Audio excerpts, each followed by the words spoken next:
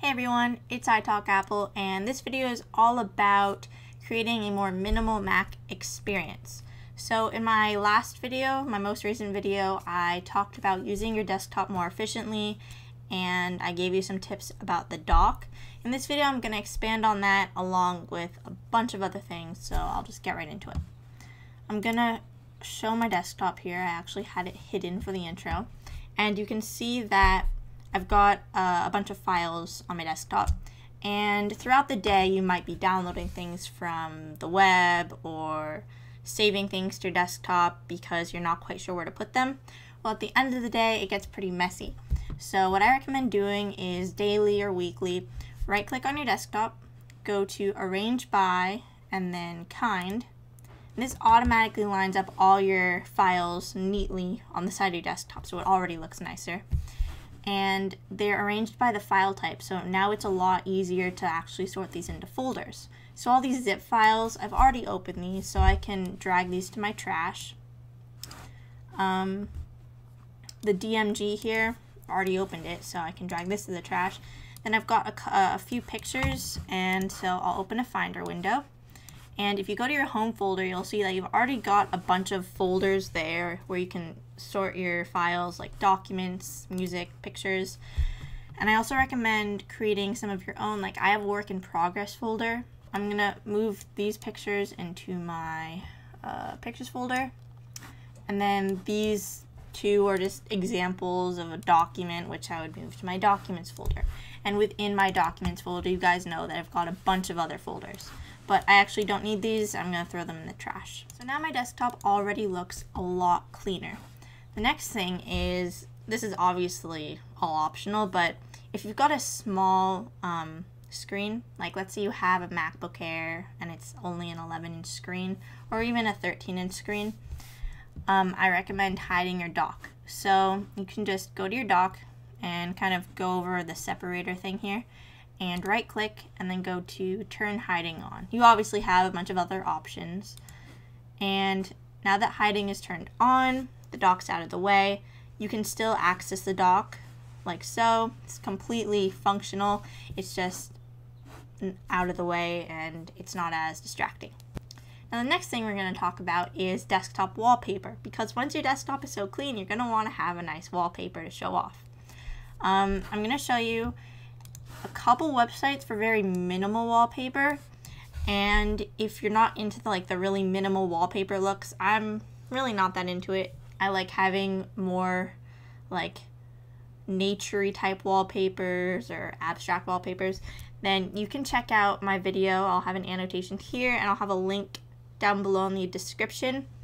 Um, I made a video a while ago about websites for everything you can possibly think of for customizing your Mac. So that includes wallpapers. So check that video out when you're done watching this video. Um, yeah, so the first one is simpledesktops.com. And you can see the this just has a bunch of really um, simple wallpapers. And I'm pretty sure that I downloaded this robot wallpaper from here. So just you can scroll through these. The other one is minimalwall.com. This is very, very simple. These are like kind of slogany, preachy wallpapers, I think. Um, but if that's your thing, then it's a good website for that. Um, yeah, so those are just a couple websites for really minimalistic wallpaper. Next part of this video is all about minimalistic apps. So now that you've hidden your dock, and if you followed my suggestion of removing applications that you don't use on a daily basis from your dock, um, you probably want a really quick way to launch those applications. Well, one way is using Spotlight. The shortcut for that on your keyboard is Command Space, or you can click the little icon in the corner. But Spotlight, for me, often gets kind of slow um, and there's lots of alternatives to Spotlight. I have a whole video about application launchers also. Annotation over here, and I'll have the link down below. This is my go-to application launcher now. It's called Alfred. If I hit Option Space, that's my hotkey for it, it'll pop up. It's really simple. I can type in SC for ScreenFlow, If I type the space bar, I can open a file, so I can go to like uh, documents. And you can do other things on here besides launching applications and opening files. You can actually go, um, if I type in Twitter, if I type in Twitter, I can open Twitter user, I can open Twitter, or, or I can search Twitter for something specific. So I'm going to open Twitter user iTalkApple, and that launches a Safari window, and it should open iTalkApple, but my internet is very slow. Type in some random math equation like 888 divided by 222, which is 4 and if I hit enter it copies that answer to the clipboard. Just really useful things like that. Next app is called Dateline. I'll launch that. And I normally have this um, running on my desktop. Dateline is a very minimal desktop calendar app. You can see it's right here in the bottom of my desktop. It shows the days um, the date and it shows what day we're currently on it's in the menu bar, so I can click the icon and I can add a new event to the calendar right from here. I can go to the preferences just to show you this is so customizable. If I go to appearance, right now, well, there's different themes and I'm currently using this minimalist theme that I've kind of uh, customized a bit. I've changed the font and a couple colors, but that's it. Just because I like it to be very simple and not distracting at all. Um, but there's different themes like autumn. So you can see now it's at the bottom here. Autumn's a little more showy, but you can change all the colors like this. So this is minimalist vertical if you're more into the vertical style. You've got lots of options like changing the window level. So right now it's on normal windows. So if I was to move this window over here, um, it goes on top. But if I choose floating windows, if I move this window here, you can see that the calendar kind of dis is displayed over this window, so I can always see it. I like keeping it on normal windows. Um, under events, I can actually show my events on the desktop. So if you're somebody who's got lots of events for the day and you always like to see what you have without having iCal open, you can have this window appear here. It's not distracting at all. It actually fades out if it's not the active window if you're not hovering over it. And I can switch through the days. So here's one where I have an event. I have a golf date with somebody. Dateline's available in the Mac App Store for $5.99. I think it's worth it if you're somebody who uses the calendar a lot. And this has actually made me use my calendar more, like want to put in more events and stuff. And it's just really useful to have on your desktop here. That way you don't have to open up iCal to like see what events you have going on. So it's $5.99 in the App Store, and you guys are lucky, and I'm lucky because Machine Codex was kind enough to offer a promo code for giveaway.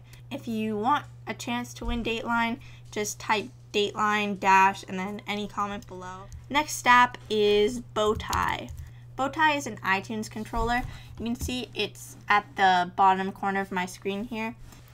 The iTunes window is fairly large. It takes up decent amount of space on your desktop. So what I do is I hide the window with Command H, and then I just use Bowtie down here to control the music.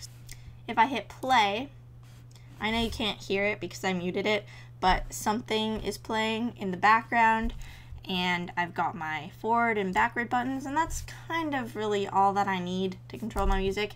Um, if I do for some reason want to pick a particular song, then I can just do Command Tab and then find iTunes again and then open it up and then choose the song.